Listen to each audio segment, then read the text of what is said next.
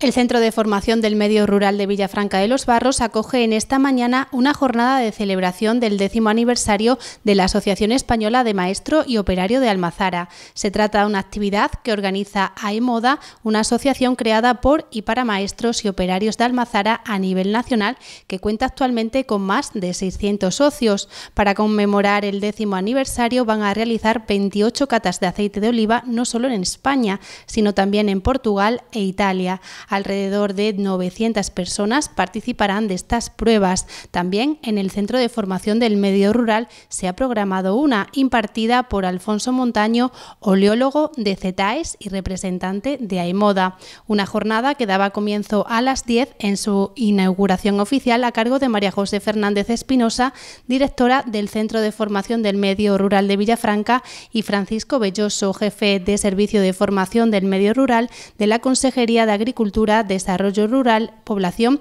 y Territorio. Al encuentro acudían los alumnos del Centro de Formación del Medio Rural de Villafranca y empresas de la localidad relacionadas con el sector del olivar. Hola, eh, buenos días, bienvenidos todos al Centro de Formación del Medio Rural. Eh, me gustaría daros unos buenos días como debería ser hoy con lluvia no, y con mucho paraguas, desafortunadamente no es así porque vamos a ver el sector del olivar y evidentemente nos hace falta el agua. Pero de todas maneras, buenos días, encantada de que estéis todos hoy aquí, a nuestros queridos alumnos y alumnas y a las personas invitadas que venís y luego a las personas que vais a colaborar en esta jornada de, del aceite de, oliva. Eh, tenemos con nosotros hoy este centro, como sabéis, es un centro de formación del medio rural de la Consejería de Agricultura y tenemos el honor hoy de tener con nosotros al jefe de servicio de formación del medio rural de, que, eh, al que está escrito este centro. Él es el jefe en la Consejería de Agricultura. Eh, eh, como sabéis, este centro imparte dos ciclos formativos de formación profesional reglada y uno de los ciclos es aceite de oliva y vinos, el título del ciclo. Evidentemente, nosotros, ¿qué queremos para nuestros alumnos? una formación integral donde además de tener sus clases, muchísimas prácticas y sus clases teóricas, pues ellos tengan la opción de conocer lo que es el sector del aceite. Eh, aprovechamos que eh, la Asociación Española de mm, Maestros y Operarios de Almazara. Eh, iba a celebrar su décimo aniversario y entramos en contacto con ellos y dijimos, pues qué oportunidad de que ellos celebren en nuestro centro estas décimas jornadas de celebración y a nuestros alumnos les sirva de formación, porque ellos van a tener hoy la oportunidad de tener conocimientos del sector, de cómo está el sector del aceite, pero mm, de primera mano, o sea, por personas cualificadas, trabajadoras y personas que están en este sector con muchísima formación. Entonces nos parecía ideal, nos pareció genial la idea de, hacer esto, de celebrar aquí esta jornada. Ellos hacían su décima jornada y nosotros hacíamos una formación para nuestros alumnos. Eh, no me quiero enrollar más, eh, nada más que, nada, que, el sector del aceite, como sabéis, bueno, los alumnos vais a tener mucha formación. Tenemos mm, este ciclo con mucha, afortunadamente, con demanda de alumnos, porque como sabemos Extremadura es la tercera región a nivel nacional en, aceite. España es el, del todo el mundo mundial, como decimos, es el país que más olivos tiene, que eso es un dato muy importante. Toda esta información os la van a dar después. Y la producción de aceite y el sector del aceite es importantísimo en nuestra tierra. Ya sin más, le doy la palabra al jefe de servicio de formación del medio rural, Francisco eh, Belloso Trinidad.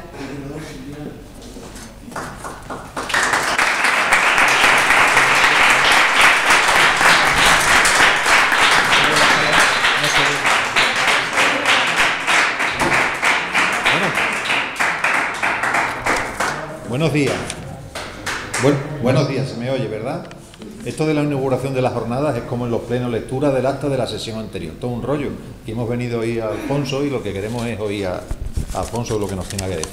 Bien, María José, que somos la tercera, la tercera comunidad con más olivos, a punto de casi de coger Castilla-La Mancha, a punto de pasar a ser segundo. Eh, yo solo me gustaría deciros una cosa. la Consejería de Agricultura, el 21 de octubre pasado, era una cosa que iba a hacer antes, de hecho se presentó aquí en Villafranca, pero luego la pandemia lo retrasó, presentó un plan de formación del olivar, un plan de formación para todo el sector del olivar. El plan está dotado con 200.000 euros y trata de una serie de jornadas y de cursos durante el periodo 2023-2027. A diferencia de otros planes, es un plan a demanda, es decir, se van a hacer los cursos que las cooperativas o que los interesados o que las industrias eh, requieran. No se van a montar cursos y luego vamos a coger alumnos a lazo, sino que van a ser lo que la empresa eh, demanda. Y hasta ahora, y ya que estas jornadas eh, están dedicadas a la Asociación Española de Maestros y Operarios de Almazara, las peticiones de cursos que hemos tenido son de almazareros. No hemos tenido peticiones de cursos de, fruta en patio o de otros cursos. Los cursos son muy curiosos. Son cinco cursos, nos los ha montado o nos los montó la estructura Juan Vilar de Jaén. Era, había un experto en planificación, desarrollo comercial y ventas en el ámbito oleícola, otro de liderazgo, management y compliance, eso no sé lo que significa, para consejos rectores en cooperativas oleícolas. El curso para maestros de almazara y responsables de proyectos, este es el que nos han solicitado tanto en los Vivores como ya se hizo uno en la cooperativa del Ácara curso de gestión en la recepción y adecuación del fruto en patio, curso de control, mantenimiento y gestión de, en bodega y curso para la gestión global orientada a la calidad. Este es el calendario de cursos que tenemos, estamos dispuestos a hacerlo eh, para que nos demande, para quien nos lo demande, perdón, y en ese sentido sí nos gustaría contar con la colaboración de la Asociación Española para, bueno, para que el mejor desarrollo de este tipo de cursos. Yo no tengo nada más que decir, eh, que sea una buena jornada, seguro que lo es, y me parece que me toca darle la palabra a, Alfonso, ¿no? Sí, sí.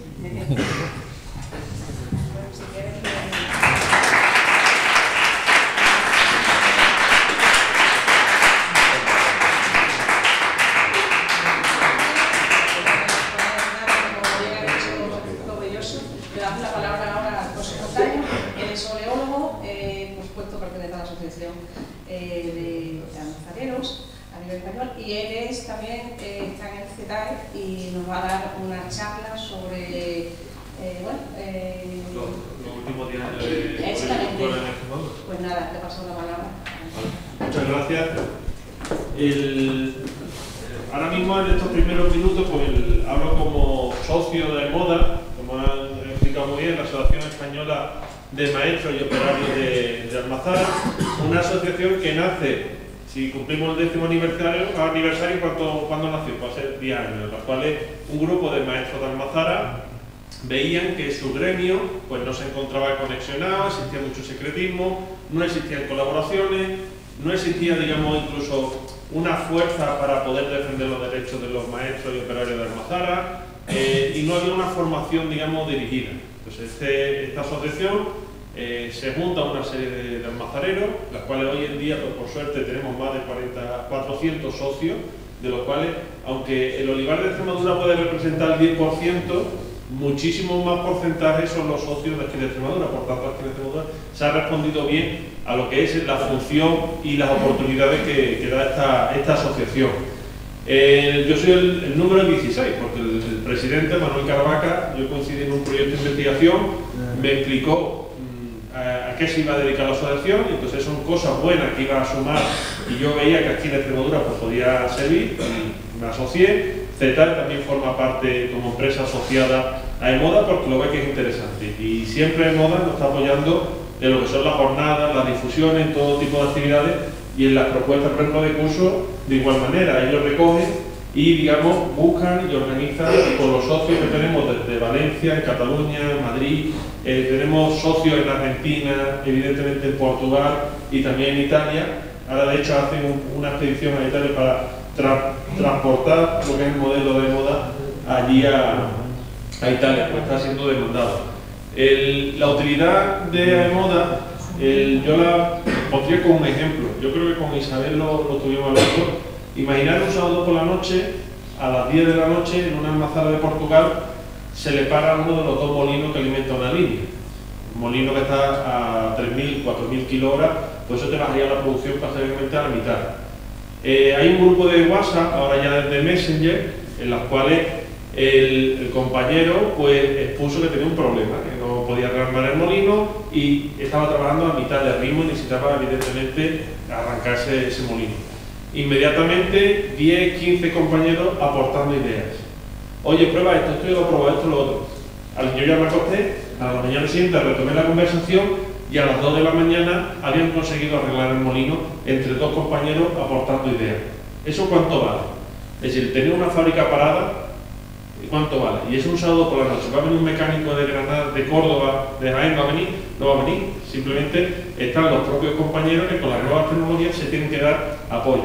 A eso se dedica el moda, a favorecer lo que es la formación, dinamizar el sector, transferir esa información que se va generando en los centros de investigación, en las novedades tecnológicas y también a fomentar esos cursos y esa integridad de lo que son el, gremio de los maestros y operarios de almazar. Yo os invito a que os metáis en la página web de aimoda.com, aimoda.es es de una empresa de moda, lo que pasa es que ya los dominios no se pueden compartir, aimoda.com, que vaya a conocer un poquito más de todas las actividades que se están organizando. La página web se va a modernizar en esta, en esta última época, fue presentado en Expo la semana pasada y va a un calendario de todos los tipos de actividades, de formaciones que se van a, que se van a ir. Dentro de ese décimo aniversario, pues Moda, lo que quiere, digamos, de, de la Moda de sus socios, ha editado también un libro en los cuales se simplifica todos los beneficios, bondades de lo que es la mejor grasa nutricional que existe, el aceite de oliva virgen extra, por una eminencia mundial que es nutrición de aceite de oliva, el doctor Gaforio, y lo que eh, se explica fácilmente para el consumidor, para la persona de, la calle, por qué tenemos que seguir consumiendo lo que es la mejor grasa nutricional que existe. Igualmente, también, por ejemplo, hay moda colabora con la revista de Interempresa en publicaciones en las cuales lo que hacemos es escribir lo que son las novedades, las noticias y temas de interés que pueden servir para el maestro almazar. Para esta edición ha sacado una edición especial del décimo aniversario que es descargable en la página de Interempresa y también luego daremos un, número, un número de la revista. ¿En dónde estamos hoy? Bueno, pues para este décimo aniversario el MODA lo que quiere es el divulgar lo que son los conocimientos en la cultura de los aceites de oliva. Para eso ha organizado 28 catas de aceite en esta semana, en las cuales está distribuido no solamente en España, sino también en Portugal y en Italia, en las cuales más de 900 personas, yo creo que son 900 más los extras que habéis venido acompañando hoy aquí, pues realmente son catas de 25 personas, salvo aquí que, que hemos pedido extenderla a casi 50 y eh, todo eso repartido pues, cerca de más de 15 provincias españolas. Por tanto, yo creo que es una actividad que hay que eh, felicitar lo que haga en moda las cuestiones de la logística para poder aportar y que todos podamos disfrutar esta semana de, de esta actividad. Eh, nosotros hemos preparado una pequeña jornada, es decir, no solamente invitaros a lo que es la cata, sino yo ahora voy a dar un pequeño repaso a cómo hemos cambiado en estos 10 años. También al igual, después habrá una mesa redonda en la que Francisco va a moderar eh, estará José Lavado, estará José Mari y estará Antonio participando en esa mesa redonda para explicar su, experiencia. Son tres generaciones distintas y vamos a conocer su, papel. En estos 10 años Extremadura ha cambiado radicalmente. Y ahora vamos a ver un poquito a. Primero, lo básico, es decir, aquella persona que, digamos, os pido solamente 5 minutos de lección en la siguiente diapositiva. Ya después habrá muchos números y podemos distraernos y, evidentemente los números no nos vamos a quedar. Pero vamos a hablar un poquito de la cadena de valor, el tipo de empresa que podemos encontrar y que puede ser nuestra futura empresa de trabajo. Y Extremadura, oleéndola, vamos a ver cómo se reparten las variedades, la superficie de olivar, la producción y lo más importante, la calidad que del aceite que nosotros producimos. Y al final, para algunas pinceladas, porque Muchas veces pensamos que eh, el mundo del aceite está en nuestra cooperativa, cuando llevamos la aceituna la tiramos allí en la torba y a nivel mundial existe también eh, que entender cómo funciona este, este, mercado y el mundo del aceite. Lo primero que tenemos que saber, nosotros a partir de la aceituna podemos sacar tres calidades comerciales. Aceite de oliva virgen extra como aquella calidad inmaculada que nos recuerda a un fruto sano. Cuando ya tiene un sabor o un olor que no es propio de un fruto sano, se denomina virgen, se le quita la palabra extra. ¿Por qué? Porque nos puede recordar a un poquito fermentado, nos puede recordar a moho, a tierra, a gusano, que es un aroma que no va a ser propio de, la aceituna sana. Ese se denomina virgen. Cuando ese atributo negativo es muy intenso, no es comestible por los seres humanos y se tiene que destinar a otro destino. Se denomina lampante. Lampante viene de lámpara, porque es el aceite que se utilizaba antiguamente en los cortijos para iluminar los candiles. De ahí viene la palabra lampante. Tiene mal sabor, mal color y mal olor. Ese aceite no se puede envasar, solamente se puede envasar el virgen extra o el virgen. El lampante, estamos en un negocio que el, todo vale dinero, se destina a una industria que por medio físico y químico va a quitar ese mal sabor, mal color y mal olor. Y es lo que se denomina aceite de oliva refinado y sería, o el aspecto, que luego lo vaya a ver, similar a lo que sería un aceite de girasol o un aceite de semilla. Ese aceite, para poderlo envasar, tenemos que echarle un poquito de virgen extra o virgen para darle sabor, color y olor. Y es lo que vamos a denominar como aceite de oliva. Ahí radica uno de los problemas del consumidor que no sabe realmente qué está comprando. Cuando hablamos de aceite de oliva, estamos hablando de todas las grasas que obtenemos de la aceituna. Y hay que hablar de aceites de oliva, ¿de acuerdo? Porque nosotros tenemos tres categorías comerciales, virgen extra, virgen y aceite de oliva, que es la mezcla de aceite refinado con un poquito de virgen extra. ¿De acuerdo? Esto es muy importante, sobre todo para que el consumidor tenga libertad de elegir qué tipo de aceite yo quiero en mi cocina. ¿De acuerdo? Cuando tú compres un aceite de oliva virgen, tienes que saber que es un aceite que se ha obtenido por procesos físicos, no ha habido una refinación y ya tiene un olor, un sabor que no es propio de un fruto sano. La cuestión es que si te gusta, pues lo compres, pero que tú sepas qué estás comprando realmente. Y el virgen extra, un producto inmaculado, y aceite de oliva era un producto que antes no se podía consumir porque tenía mal sabor, mal color y mal olor, y por el mismo proceso de refinación que sufre las grasas y semillas, pues eh, se le convierte en comestible. ¿De acuerdo? Después tendremos de la fritura siempre va quedando un resto de aceite en el orujo, en la pasta final después de la salida del decante. Y como estamos en un negocio que aquí todo vale dinero, ese aceite se va a extraer primero, y es lo que se va a hacer, el aceite de lujo crudo.